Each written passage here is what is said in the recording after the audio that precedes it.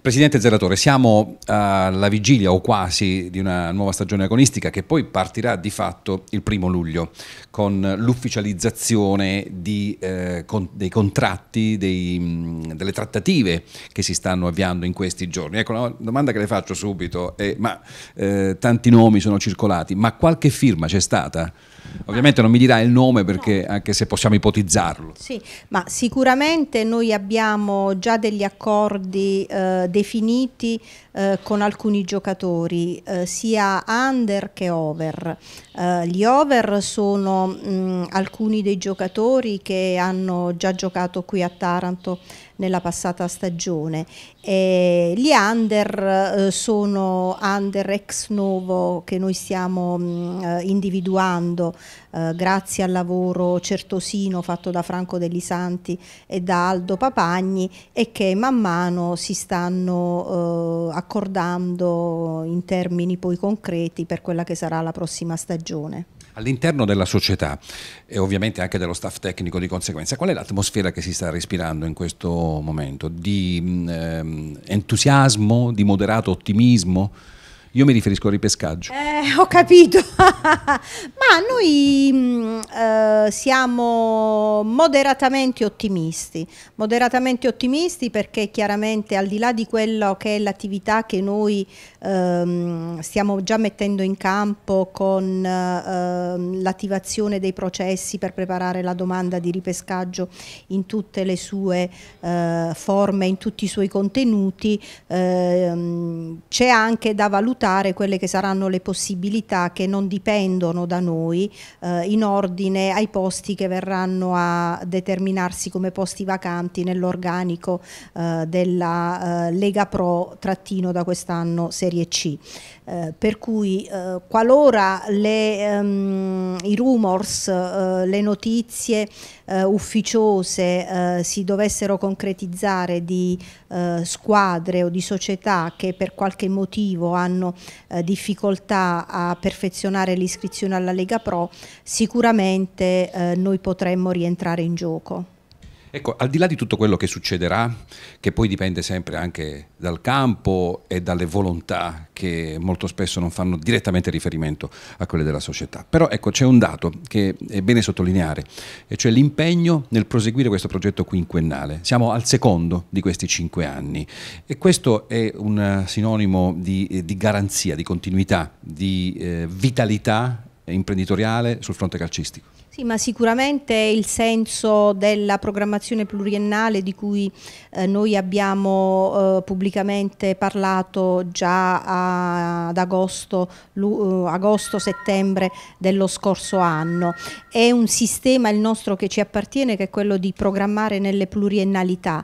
Eh, questo non significa, mh, ripeto, come ho già detto altre volte, eh, posticipare il raggiungimento di determinati obiettivi negli negli anni, significa eh, cercare di mettere in piedi un progetto che anno per anno ti possa dare dei contenuti positivi e ti consenta poi laddove è possibile, chiaramente perché poi al di là della volontà della società, poi alla fine in campo ci vanno i giocatori e sono i tecnici che li mettono in campo, quindi al di là di questo ti consenta poi di raggiungere l'obiettivo sperato che sicuramente è fare campionati che non siano né la Serie D né la Lega Pro che per noi è un campionato di passaggio.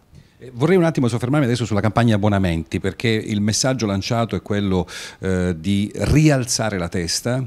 Eh, mettendo al centro questo profondo amore che si nutre nei confronti della maglia rosso-blu. C'è un dato, 71 abbonamenti nella prima giornata di campagna. Beh, mi sembra un dato importante, buono, no? Tutto sommato. Ecco, lei come lo giudica? Sì, no, sicuramente è un dato importante, è un dato significativo anche perché sta a significare che ehm, la città o comunque i, i, tifosi rispondono in maniera positiva.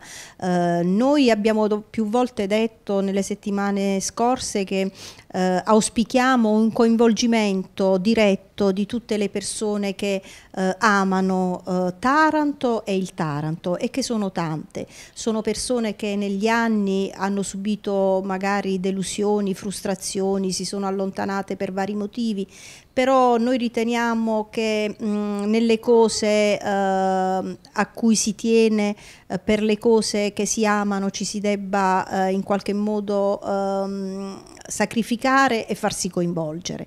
In questo momento è importantissimo ed è fondamentale farsi coinvolgere perché noi dobbiamo dare anche un segnale di grande vitalità alla federazione e alla Lega eh, Pro eh, anche in termini di eh, zoccolo duro, di tifosi che sono vicini alla squadra, di tifosi che condividono il progetto societario. Se siamo tutti quanti insieme possiamo dare un segnale positivo che può anche indurre a prendere in maggiore considerazione la città di Taranto rispetto a quanto è avvenuto finora. Una veloce riflessione su quanto è stato fatto finora, eh, da, da, quel fine luglio del 2015 ad oggi, quindi quasi un anno. Ecco, in questi anni c'è qualcosa, c'è una cosa che non rifarebbe più? Ma sì, ci sono delle cose che probabilmente col senno di poi eh, non rifarei o non rifaremmo come società però io credo che in, come in tutte le attività umane ehm, dalle cose negative poi si deve trarre il giusto segnale eh, che è quello che ti dà l'esperienza. Quindi l'esperienza ehm, di quest'anno appena concluso quest'anno agonistico calcistico appena concluso sicuramente eh, sarà ehm, un elemento di cui far tesoro per il futuro per quanto riguarda invece ecco, qualche argomento che, a cui i tifosi in questo momento sono particolarmente legati, ecco, di quelli che l'anno scorso facevano la rosa del Taranto, quanti ne rimarranno per l'anno prossimo? Numericamente dai 4 ai 6 più chiaramente eh, ci sono i ragazzi della juniores o del settore giovanile che saranno comunque aggregati alla prima squadra, perché questo è un altro segnale che noi vogliamo dare, ehm, quello di eh, inserire gradualmente per quelle che sono le loro possibilità e le loro capacità e anche la tempistica giusta da dare ai giovani, eh, di inserirli nell'organico della prima squadra. Che cosa si aspetta da questa campagna abbonamenti?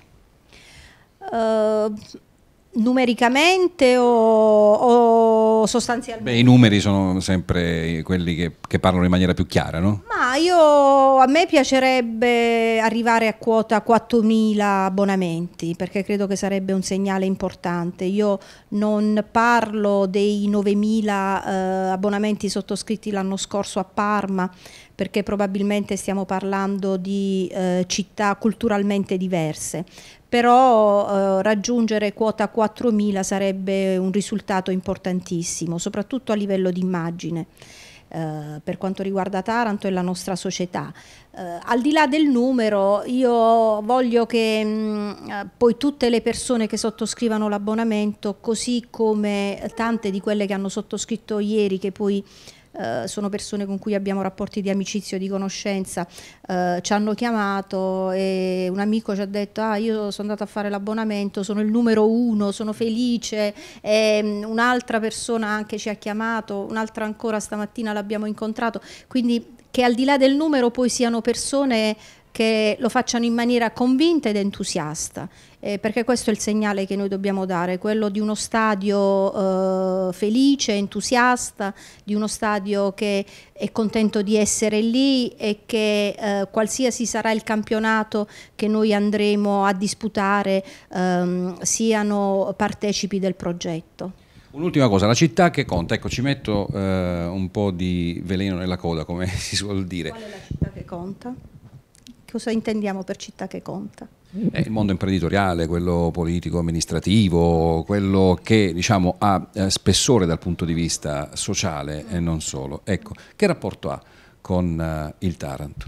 La città che conta ehm, a livello istituzionale, ehm, devo dire che al di là eh, delle prime settimane eh, dell'anno appena trascorso, quindi ci riferiamo ad agosto-settembre 2015, al di là di quelle settimane in cui c'è stato un interesse da parte eh, del livello istituzionale, mm, dopo quella data abbiamo eh, registrato una, una indifferenza probabilmente o una uh, sottovalutazione di quello che il calcio può rappresentare a Taranto. Probabilmente uh, le nostre amministrazioni locali sono prese da altre problematiche ben più gravi probabilmente di quelle sportive e quindi hanno un attimo uh, snobbato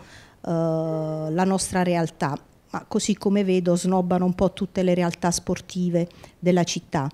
Uh, a livello imprenditoriale uh, si registra sempre lo, il solito scenario, abbiamo registrato il solito scenario, quindi un'assenza completa da parte della grande industria e delle grandi aziende, anche perché probabilmente non doverosamente sollecitate dal livello istituzionale, così come avviene invece in altre città, eh, vedi eh, quello che sta, è avvenuto a Carrara con il sindaco che si è fatto promotore eh, della, del salvataggio, comunque della rinascita della squadra locale, eh, vedi quello che sta avvenendo a Fano dove il sindaco comunque ha chiamato a raccolta l'imprenditoria locale per eh, raccogliere il fondo perduto e per eh, fare il ripescaggio in Lega Pro e invece una mh, mm, discreta attenzione da parte dell'imprenditoria locale, mh, mm, quella media e piccola,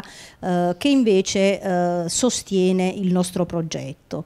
Quindi eh, sintetizzando eh, la filosofia locale credo sia questa, i grandi non pensano ai piccoli, i piccoli potremmo essere noi, eh, mentre i piccoli sono solidali con i piccoli.